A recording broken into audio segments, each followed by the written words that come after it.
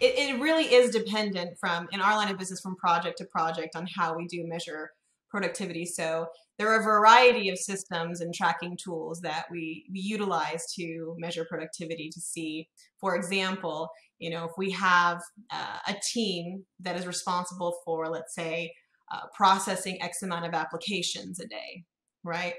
We we look at our, our, our tracking tools and we we identify our our team members hitting the goals. You know we, we first have to establish what those goals are right? So you know we we right. can't expect our team to meet productivity requirements if they don't know what those requirements are right? So understanding and, and establishing what are the goals and uh, clearly communicating those and then looking at those various tools those, those tracking tools that we've established um, some that we've we've inherited throughout the years, some that we create and we're currently building and establishing, just depending on the nature of the of the project.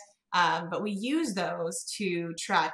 You know, are they hitting those markers? Are they hitting those expectations? Those those uh, those KPIs, right? Um, mm-hmm. So we, we that is that's how we're currently measuring um, productivities. We do look at things from a system standpoint.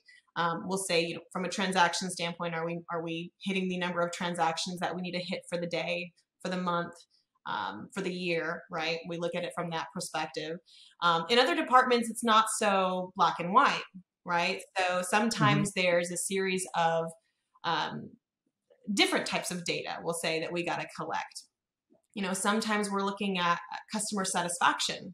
You know maybe that's a, a piece right. that we're trying to measure um, which is not always easy to measure, right? You know, we have to go through a couple of different avenues to gather that information, but we can evaluate productivity, you know, just gathering mm-hmm. various mm-hmm. different metrics from various different resources. So, uh, again, it depends on the the project that we're we're working, but I would say most of what we we leverage is our systems because we built them um, and we set them up in a way to capture the data that we need. Right. Yeah, and it's it's very complex. Like just knowing a little bit about what you guys do, it's a very complex thing to to manage productivity because you have so many different stakeholders that are you're having to manage both on your side and the uh-huh. client side, and the type of work that you do for each client is not always the same. You know, so the outcome or measurable is not going to always be the same.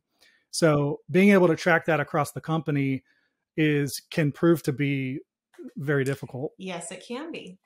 Uh, the great thing is that we've been able to leverage tools like um, Power BI, where we can take data from right. multiple systems and we can bring them mm-hmm. all together and create various yeah. dashboards and reports that you know they may not necessarily say the same thing you know from project to project but they give the information that's necessary for us to determine are we staying on mm-hmm. track mm-hmm. are we being productive are we meeting performance you know metrics so so it's, it's mm-hmm. kind of great that we can leverage those tools also to kind of help us, you know, from a higher level, uh, manage and maintain those things, to have full transparency.